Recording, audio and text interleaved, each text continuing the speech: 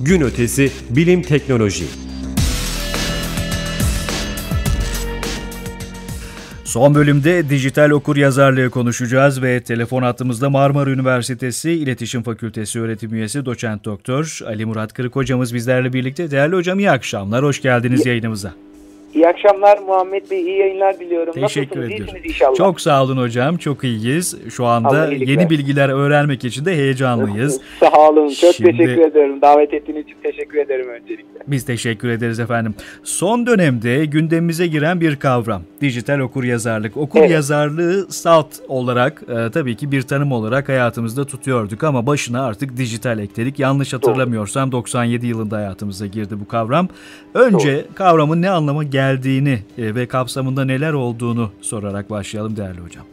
Tabii. Çok teşekkürler öncelikle. Şimdi biliyorsunuz artık farklı yeni dünya konseptleri gelişmeye başladı ve bugün bilgi becerileri ve bilgi iletişim teknolojileri özellikle çok yoğun bir gelişim gösterdi. Ve bu kapsam içerisinde e, okur yazarlık denilince as- aslında hep aklımıza gelen nokta nedir? İşte okuma, yazma, konuşma, dinleme gelinir. Ve okuma yazma artık bugün toplumdaki gelişmişlik düzeyinde tanımlayan biliyorsunuz en temel göstergelerden e, bir tanesi. Ve bugün dijital dünya aslında yaşantımızın tam da merkezinde yer alıyor. Ve sizin dediğiniz üzere dijital e, medya okuryazarlığı e, ana olarak işte bu e, toplumun, bireylerin bu yeni iletişim ortamlarını aktif bir şekilde, etkin bir şekilde kullanabilmeleri ve bu içerikleri nasıl okuyacakları, bu içeriklerle karşılaştıklarında e, bu özgü içeriklerle e, nasıl e, bilgi aktarımı sağlayabilecekleri, bunları nasıl üretebileceklerini kapsayan bir aslında anlama geliyor, ifade ediliyor.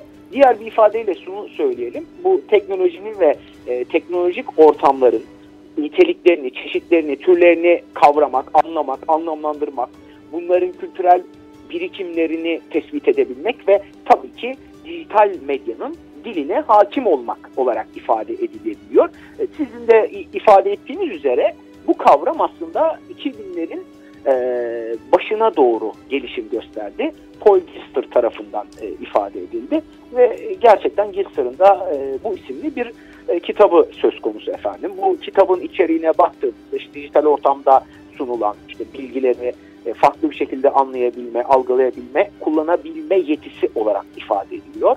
Ve yeni dijital teknolojileri biz kullanarak artık bugün biliyorsunuz bilgiye ulaşabiliyoruz. Bu bilgileri etkin bir şekilde kullanabiliyoruz, paylaşabiliyoruz.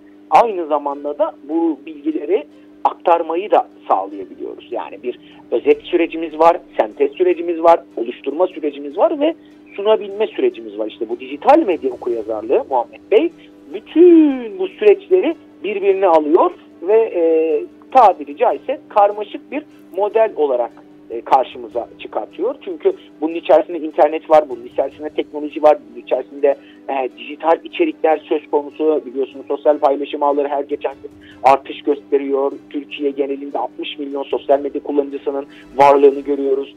İnternet aynı şekilde 66 milyon internet kullanıcısı var. 84,5 milyonluk Türkiye nüfusunda. E, dolayısıyla buradan artık bilgileri almaya başladık. Çağa ayak uydurmaya başladık. Örnek vermek gerekirse TRT bile kendi dijital arşivini oluşturdu. Dolayısıyla hızlı bir şekilde bilgiyi aktarma şansına sahip olmaya başladık Muhammed Bey. Ama tabii ki bunun artıları olabileceği gibi eksileri de oluyor efendim. Bunu da Evet. antiparantez ifade etmemiz gerekiyor. E, faydalarını ve zararlarını, gerekliliklerini elbette konuşalım değerli hocam. Biraz önce bazı rakamlar verdiniz ve e, günümüzde artık bütün insanlar için internet bir temel bilgi kaynağı olarak görülüyor. Doğru. Sorunun ilk kısmında e, bu cümlenin e, sonucu itibariyle herkes bir dijital okur yazardır diyebilmek mümkün müdür? Değilse dijital okur yazarlık nedir? İkinci kısmında da e, çocuklar ile e, yani belki orada X, Y, Z kuşakları arasındaki farklılıkları da göz önünde bulundurarak sanki çocuklarda dijital okur yazarlık anlayışı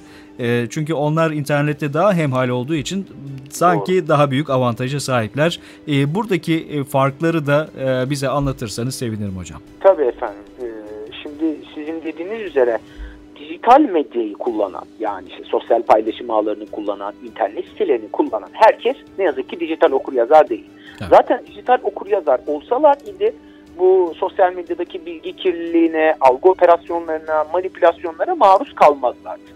Dijital medya okuryazarlığı bu noktada işte bu sosyal medyadaki bilgi kirliliği ve algı operasyonlarıyla mücadele noktasında da son derece önemli. Çünkü biliyorsunuz artık devletlerin sınırları fiziki sınırlar olmaktan ziyade sanal yani siber sınırlara doğru evrilmeye başladı ve e, bu süreçte dijital okuryazarlık son derece önemli bir hal almaya başladı. Yani burada bizim için önemli olan bilgiyi kullanmak, bilgiyi anlayabilmek ve bilgiyi üretebilmektir. Yani dediniz ya dijital okuryazarlık nedir diye.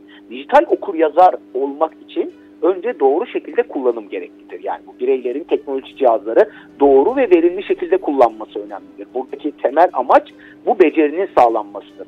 Bunu kullanmak da yetmez. Aynı zamanda kullandığımızı anlayabilmek de önemlidir. Akıllı telefona herkes sahip olabilir ama akıllı telefon üzerinden uygulamaların nasıl kullanılacağı, kişisel verilerimizin nasıl güvenli ve güncel şekilde tutulacağı da son derece önemlidir. Yani dijital olayları doğru görmek kadar bunları anlamak da gereklidir. Yani böyle bir işte örnek vermek gerekirse devlet aleyhine bir propaganda, kara propagandaya sosyal medyada e, karşı çıkmak, karşı koyabilmek, dijital okur yazar olmak da ortaya çıkar ve dijitali doğru okumamızda anlama unsuru herkese büyük ölçüde yardımcı olmaktadır.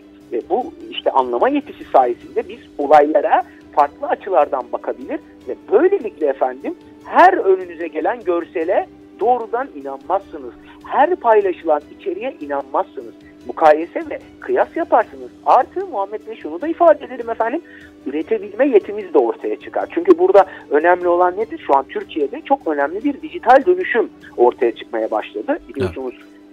Eğitim bilişim ağımız var. Milli Eğitim Bakanlığımızın oluşturmuş olduğu eğitim bilişim ağı da bu noktada son derece önemli. Pandeminin etkisiyle birlikte birçok dünya ülkesinde eğitim sekteye uğramışken Türkiye çok kısa bir zaman dilimi içerisinde, bir iki hafta içerisinde hem üniversitelerde hem eğitim bünyesinde e, dijital eğitime geçti. Bu da aslında bizim altyapımızın güçlü ve sağlıklı olmasından kaynaklıdır. Şimdi az önce dedim ya üretme yetimiz de önemli. Dijital okuryazarlığın son aşamasıdır. İletişime geçebilmek için bir üretim yetisi muhakkak olmalı. Bu üretimi yapabilmek için de ortaya bir şey çıkarabilmek ve tabii ki e, bunun internet kullanımından da farklı olduğunu bilmek gerekir. Dijital mecralarda içerik üretebilmenin birçok yolu vardır.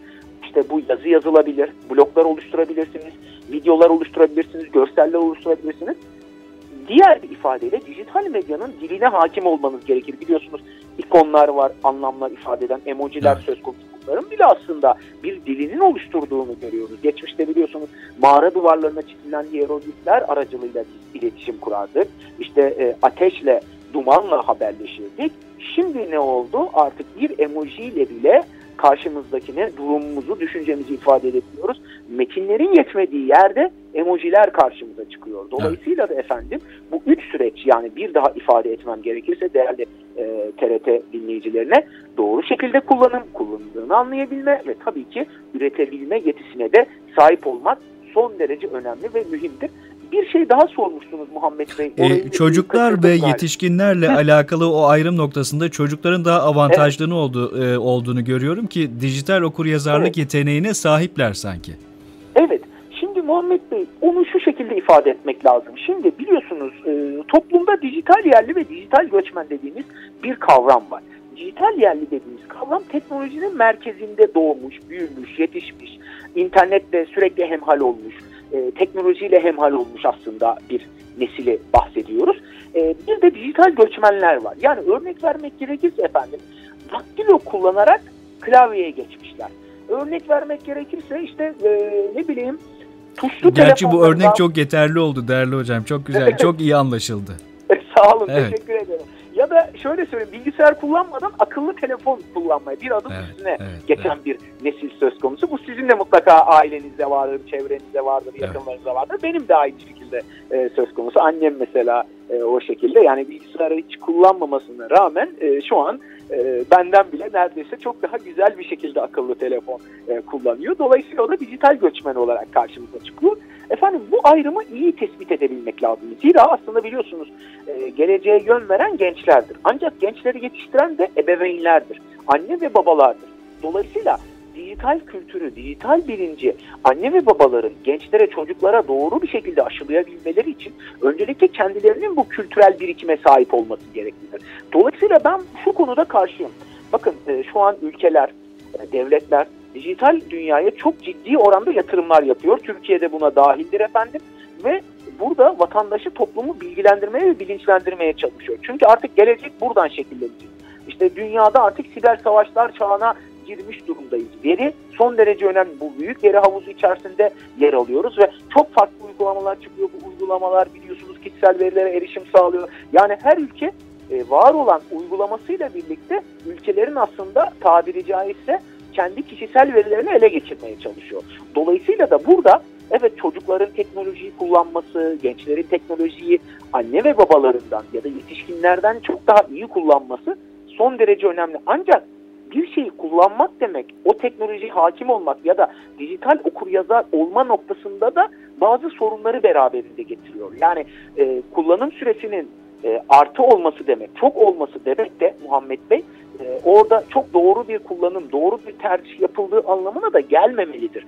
Zira e, çocukların da bu son dönemlerde dijital dünyada çok farklı tehditlerle karşı karşıya kaldığına şahit oluyoruz. İşte anne ve babalar örnek vermek gerekirse tarama geçmişlerinin nasıl kontrol edildiğini bilmezlerse, çocukların hangi uygulamaları kullandığını bilmezlerse, uygulamaların içeriğinden e, ne yazık ki bir haber olurlarsa elbette ki çocuklar e, bazen çok büyük uçurumlara da sürüklenebiliyorlar efendim ve bağımlılık noktasında da e, çok büyük sorunlarla karşı karşıya kalabildiğimizi görüyoruz. Çünkü internet bağımlılığı Ivan Goldberg tarafından ilk defa e, tanımlanmıştır 1986 yılında ve 1986'dan günümüze geldiğimiz süre zarfında da internet bağımlılığının çok ciddi bir hastalık olduğu ve tedavi edilmesi gereken bir hastalık olduğunu görüyoruz. Literatürde de e, bu var Muhammed Bey. Dolayısıyla teknolojiyi kullanmak, işte sosyal paylaşım ağlarını kullanmak, burada çok fazla vakit geçirmek demek.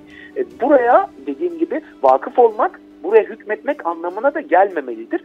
Zira dediğim gibi buradaki bilgi, dezenformasyon, manipülasyonlar çok ciddi oranda özellikle sosyal medyada biliyorsunuz sahte hesaplar üzerinden, anonim hesaplar üzerinden bunların çok ciddi anlamda yapıldığını görüyoruz. Zaman zaman Türkiye aleyhine de kara propagandaların yapıldığını görüyoruz. İşte bunlara e, ne yapmamız gerekiyor? Karşı çıkabilmek, karşı koyabilmek adına bizlerin de tabii ki bu mecraları kullanması, doğru kullanması, yerinde kullanması, faydalı kullanması, içeriklere yönelik mukayese ve kıyas yapmamız gerekiyor. Yani bir haberi orada gördük diye hemen inanmamız doğru değil. Yani örnek vereyim çocuk işte görüyor orada bir haber görüyor. Annesine ya da babasına bunu anlatıyor. Dolayısıyla anne ve babası bu noktada dijital bilince sahip olmazsa orada yapılanın evet. bir bilgi kirliliği, dezenformasyon olduğunu bilmezse çocuğuna doğru bilgi aktaramamış olacak. Çünkü evet. e, gelişim çağındaki çocukların biliyorsunuz Muhammed Bey neye ihtiyacı vardır? doğru bilgiye ihtiyacı vardır. Doğru bilgiyi nereden bulacağını da elbette ki anne ve babalar e, yol göstererek onu aktarır. Yani evet. rol model alırız biz biliyorsunuz anne ve babalarımız. Peki. O noktada önemli diye düşünüyorum efendim. Çok teşekkür ediyoruz değerli hocam katıldığınız için ve bizleri Aa, aydınlattığınız için. Ne demek Sağ olun. efendim süre bir, e, gerçekten su gibi akta geçti Kesinlikle Muhammed öyle. Aslında başlıklarımız vardı. Türkiye'nin projeleri farklı evet. bir programımızın başlığı olarak ele almaya çalışalım. Yeniden İnşallah. görüşmek dileğiyle hocam. İyi efendim, akşamlar. Çok teşekkür ederim. İyi akşamlar, iyi hafta sonları diliyorum Sağ dinleyicilerimize. Esen kalın efendim. Sağ olun.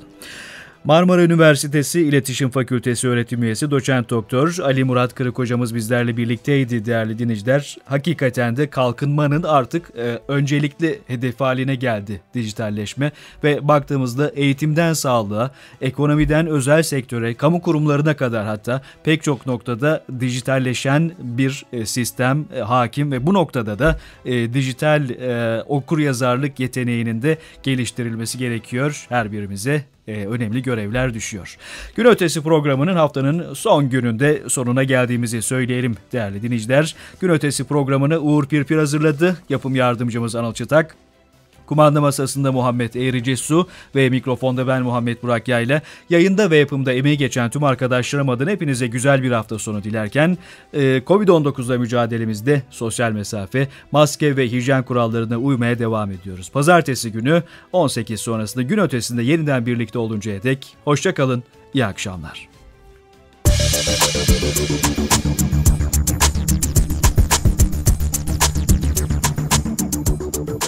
Gün ötesi.